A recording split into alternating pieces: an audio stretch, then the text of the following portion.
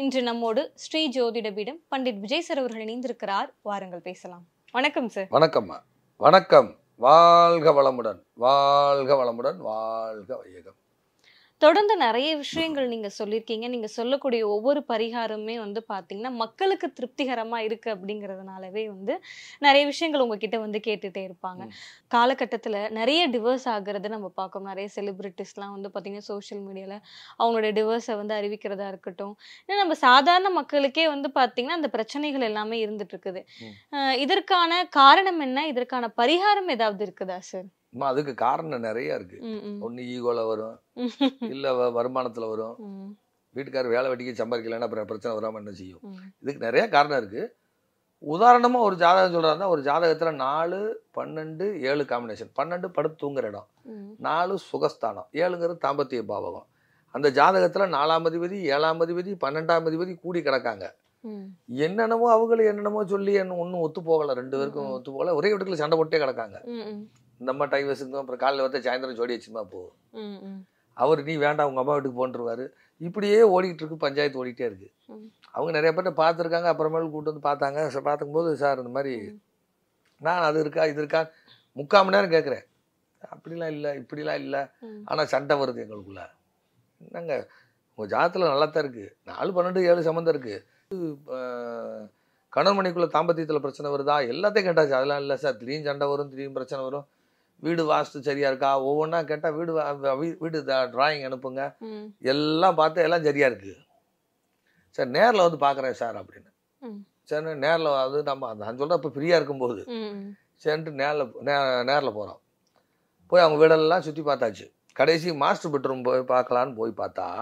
ரெண்டு சிங்கிள் காட்டை ஒன்றா இணைச்சிருக்காங்க. சிங்கிள் பெட்ரூம்களுமா சிங்கிள் ஆமா. காட் இருக்கு இல்லையா ரெண்டு சிங்கிள் காட்டை ஒன்றா இணைச்சிருக்காங்க. நாலுங்கிறது சுகம். நாலு பன்னெண்டுங்கிறது தூக்கம். ஏழுங்கிறது தாம்பத்தியம். இது ரெண்டு கட்டில் இருக்கு. ரெண்டு கட்டில் ஒன்றா இணைச்சு போட்டிருக்காங்க. ரெண்டு சிங்கிள் காட்டை ஒன்றா இணைச்சு ஒரு பெட்டு போட்டிருக்காங்க. சார் முதல்ல அதை மாற்றுங்க சார். போங்க சார்.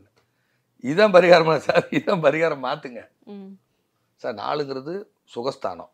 பன்னெண்டுங்கிறது தூக்கம். ஏழுங்கிறது தாம்பத்தியம். இது வந்து இந்த இடத்துல வந்து உங்கள் ஜாத்தில் அப்படி இருக்கு. ரெண்டு கட்டில் ஒன்றா இணைச்சிருக்கீங்க. அப்போ எப்போ சண்டை ஒரு இது ரெண்டு பிரிவினை சுட்டு காட்டக்கூடியது அதனால இந்த இந்த கட்டில் எடுத்துட்டு ரெண்டையும் தூக்கி போட்டுட்டு வேற ஒரே ஜாயின்ட் இந்த நார்மலாக ரெண்டு ரெண்டு பேர் சேர்ந்து தூங்குற மாதிரியான டபுள் பெட்டாக வாங்கி போடுங்க சார். அதுல இருந்து பிரச்சனை சரியாகும் போங்க சார்னு சொல்லி அதுக்கப்புறம் அவங்க அந்த டபுள் பெட்டு வாங்கி போட்டதுக்கப்புறம் மாற்றம் வந்துச்சு. இதே நம்ம இங்கே சென்னையில். ஐடியில் இருக்காங்க. அந்த பொண்ணோட ஜாதத்தில். இதே நாலு ஏழு பன்னெண்டு காம்பினேஷனு இதில் வந்து பன்னெண்டாம் படத்துல கேது சம்மந்தம் இருக்கு பன்னெண்டாம் படத்துல கேது சம்மந்தம் இருக்கு ம். இது கன்னி வீடா போகுது கன்னி டாய்ஸ் வீடு. அந்த பொண்ணுக்கு வீட்டுக்காருக்கு ஒரே சண்டை குழந்தை விட்டாகல ஒரே சண்டை கணவன் மனைவிக்குள்ள லவ் மேரேஜ் ரெண்டு பேருமே. இதுல ரெண்டு பேருமே வீடு தெரியாம கல்யாணம் பண்ணி வாழ்ந்துட்டு இருக்காங்க எப்படி. கல்யாணம் பண்ணிட்டாங்க ஆனா அந்த பொண்ணோட வீட்டுக்கு அந்த பொண்ணுக்கு தெரியாது பையனோட மாப்பிள்ளை வீடு அந்த அவங்க வீட்டுக்காரருக்கோட வீட்டுக்கும். தெரியாது. தெரியாம அவர் ஆந்திரா அவங்க வந்து கேரளா. எப்படி? ரெண்டு ஸ்டேட் சேர்ந்துருச்சு. ஆனா வாழ்ந்துகிட்டு இருக்காங்க. அவங்களுடைய ஃப்ரெண்டு ஐடில இருக்கவங்க என்னோட ஸ்டூடெண்ட் ஓகே. அப்ப என்கிட்ட படிக்கிறாங்க அவங்க. இப்பெல்லாம் கிளாஸ் எடுக்க நேரம்ல அப்படி. நிறுத்திட்டேன். அப்ப சார் உங்களுக்கு ஜாதகம் பார்க்கணும் சார் அப்படின்னாங்க. சரி சொல்லி வாங்கி போட்டு பார்த்து நான் அது இருக்கா இது இருக்கான்னு கேட்டு அவங்க அவங்க வீட்டையே சுத்தி வந்தாச்சு. ஜாத ஜாதக கடத்தை வச்சு. ஜாதகத்தை கடத்தை வச்சு வீட்டையே சுத்தி வந்தாச்சு. அதெல்லாம் இல்லை சார் அதெல்லாம் இல்லை சார்ங்கிறாங்க. நாலுங்கிறது சுகம் பன்னெண்டுங்கிறது தூக்கம் ஏழுங்கிறது தாம்பத்தியம்.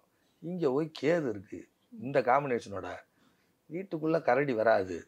அது கன்னி வீடு டாய்ஸ் வீடு. சார் டெடி பேர் வீட்டில் வச்சுருக்கீங்களா சார்னு ம். சார் ரெண்டு பேருக்குமே டெடி பேர் டெடி பேர் பிடிக்கும். முதல்ல அதை எடுங்க. கருப்பு கலரில் இருக்கானே. கருப்பு கலரில் சார் வச்சுக்க முகத்துக்கு வெளியே போடுங்க ஓஹோ. கேதுங்கிறது தடமா. கேதுங்கிறது கரடி.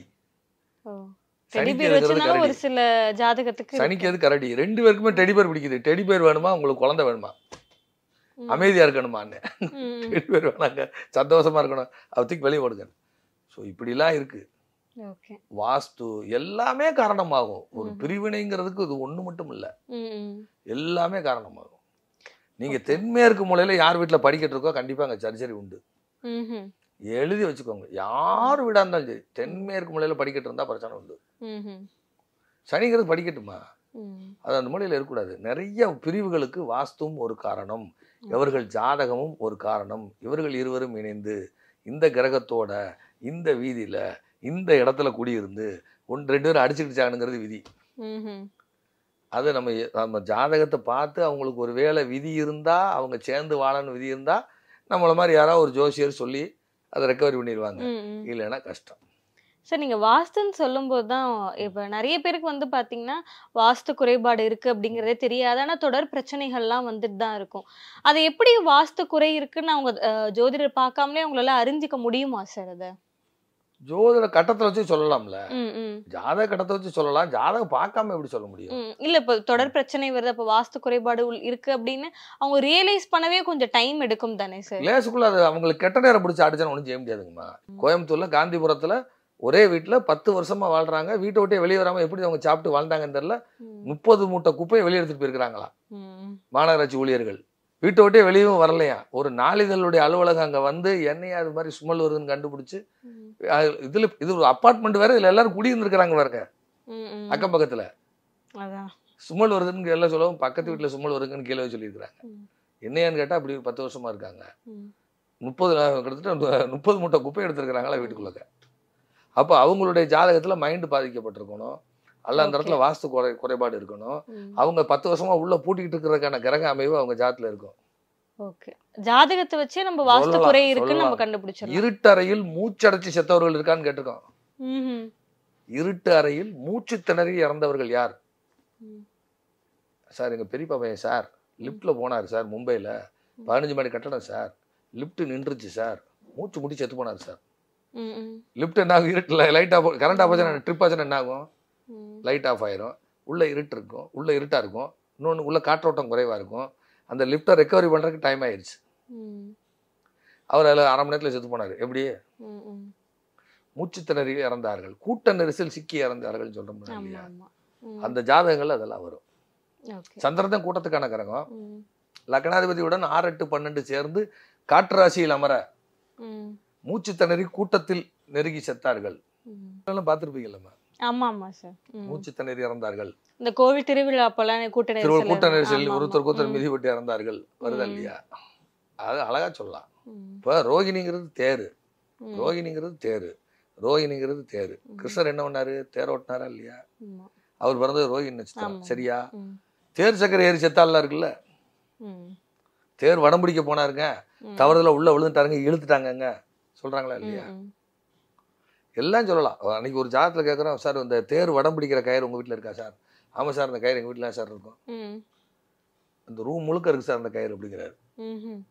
எல்லாமே சொல்லலாம். சொல்ல முடியாத மேட்டர்லாம் இல்லை. நமக்கு இன்ட்ரெஸ்ட் அதிகமா இருக்கணும்.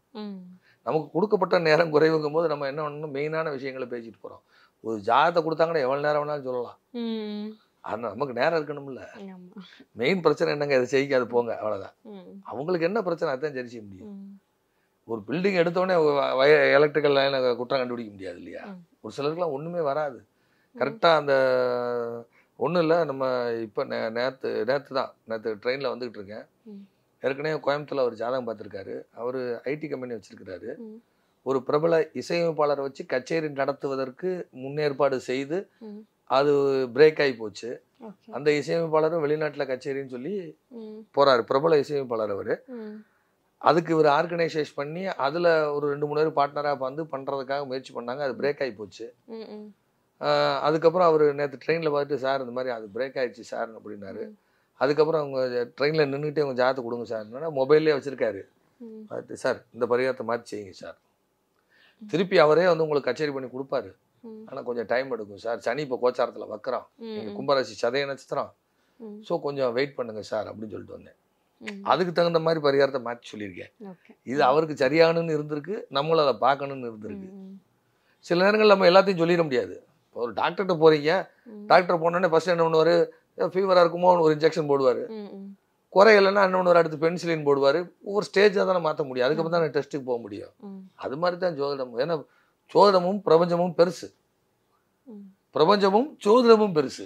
சரியா? அதனால இதுதான் விஷயம். வேற ஒன்றும் இல்லை. சார் இப்ப வாஸ்து குறைக்கான நீங்க சொன்ன வித்தியாசமான பரிகாரங்கள் பத்தி எங்களுக்கு சொல்லுங்க சார். நிறைய சொல்லியிருக்குப்பா. கொஞ்சம் நஞ்சம் கிடையாது. ஏகப்பட்டது சொல்லியிருக்கு கோயம்புத்தூர்ல விநாயகபுரம்ங்கிற இடத்துலம்மா விநாயகபுரம்ங்கிற இடத்துல தென்மேற்கு மூலை தான். ரைட். தென்மேற்கு மூலை குத்து வாங்குது. அந்த இடத்த அவங்க காலி பண்ணி போக விட மாட்டேங்குது. அவங்க அந்த இடத்துல அவங்க அங்க இருந்து வெளியேறி போகணும். அந்த வீடு என்ன பண்ணாலும் சரி செய்ய முடியாது. இவங்க அங்க இருந்து கிளம்பணும். வேற வழி இல்ல. இந்த மலை பிரதேசங்கள் எல்லாம் அந்த டேனிங்ல எல்லாம் கண்ணாடி வைப்பாங்க தெரியுமா ரவுண்டா ஆமா, பெருசா ஆமா, ஊட்டி. மாதிரி. சத்தியமங்கலம் ஃபாரஸ்ட்ல எல்லாம் அந்த மாதிரி ஒரு பெரிய கண்ணாடி ஒன்று வாங்கி அந்த பில்டிங்ல வைங்க அப்படின்னு. தென்மேற்கு மூலையில வைங்க சார். தென்மேற்கு மூலையில ரவுண்டா அதை செவத்துல ஃபிக்ஸ் பண்ணி அந்த இடத்துல ஒரு ஸ்டாண்டு மாதிரி வச்சு வைங்க. நான் அவங்க கிட்ட சொல்லல அவங்க அந்த வீட்டை வெளியேற ம- வெளியேற கூடாதுங்கிற மனநிலையில இருக்காங்க வெளியேற கூடாதுங்கிற மனநிலையில இருக்காங்க ம். நீங்க அது மாதிரி செய்யுங்க சார் அப்படின்னு சரி அதுக்கப்புறம் ஒரு அந்த கண்ணாடி எல்லாம் வாங்கி எல்லாம் ஃபிக்ஸ் பண்ணதுக்கப்புறம் அப்புறம் அவங்க யாரோ அவங்க யாரோ ரிலேட்டிவ் யாரோ வந்துட்டு இந்த மாதிரி ஒரு ப்ராப்பர்ட்டி ஒன்று விலைக்கு வருது. இது வந்து- இது வந்து எதாவது அது கமர்ஷியல் இடம் அது. இதை வந்து எதாவது இடிச்சு கிடிச்சு கடை கடையாக கட்டி விட்டுக்கலாம். இந்த பில்டிங் ஒன்று விலைக்கு வருது. இந்த இடத்துல ஏதாவது கடையை கட்டி விட்டுக்கலாம் நீங்க இப்போதைக்கு அங்கே குடி போங்க. பேங்க் லோன்ல இருந்து அது வருது. ஸோ நீங்க எங்க ஷிஃப்ட் ஆகி போங்கன்னு சொல்லி இந்த கண்ணாடி வச்சதுக்கப்புறம். இன்னொரு ப்ராப்பர்ட்டி ஒன்று வந்து அது. பேங்க் லோன் மூலமா வந்த சொத்தை இவங்க வாங்கி அங்க போனாங்க ஓகே போனதுக்கு அப்புறம் தான் அவங்களுக்கு நிறைய சேஞ்சஸ் ஏற்பட்டுச்சு. அவங்கள காலி பண்றதுக்காக அந்த கண்ணாடி வைக்க சொன்னது. ஓஹோ. அது அவங்க சொன்னா அக்செப்ட் பண்ணிக்க மாட்டாங்க இல்லையா சார் அவங்க சொன்னா கேட்க மாட்டாங்கம்மா. அதை ம். ஆக்கிரமிச்சிடும் அந்த ப்ராப்பர்ட்டி ஓகே ம். அப்போ அங்கிருந்து தெற்கு தென்மேற்கு மூலையில இருந்து வரக்கூடிய கதிர்வீச்சை. இந்த மிரர்ல பட்டு அது ரிஃப்ளெக்ட் ஆகும். ஸோ அவங்களுடைய அந்த பில்டிங்ல அந்த தாக்கம் அது இருக்காது. அப்போ அதனால அந்த அந்த தாக்கம் குறைய ஆரம்பிக்கும். இவங்களும் அந்த இடத்த மாத்தணுங்கிற எண்ணம் வரும். இட இடத்த? மாத்தணுங்கிற. எண்ணம் வரும். தினசரி பானகம் சாப்பிடுங்கன்னு சொன்னேன். இந்த பானகம்னு சொல்லுவாங்கல்ல பானகரம்னு சொல்லுவாங்க. அது சாப்பிட்டு வாங்க சார். இந்த இடத்த கண்ணாடி வைங்க சார். அப்படின்னு. அப்போ வாஸ்து சரியாயிருமான்னாரு. சரியாயிரும் போங்கன்னு. அது செஞ்சுட்டு வந்து ஒரு ஆறு மாசத்துல அவரே ஃபோன் பண்றாரு. சார் ஒரு ப்ராப்பர்ட்டி ஒன்று பேங்க் லோன்ல இருந்துச்சு. நான் வந்து வாங்கிட்டேன். இப்போ அந்த வீடு சும்மா தான் கிடக்காது. என்ன செய்யலாம் இடிச்சு கடையா கட்டி வாடகை கொடுத்துருங்க சார் போங்கன்ட்டு. இடிச்சு கடையா கட்டி வாடகை கொடுங்கன்னு. இப்படிலாம் சொல்லியிருக்கு. அதாவது அந்த நேரத்துக்கு வந்துச்சு சொல்லிட்டேன் அவ்வளோதான்.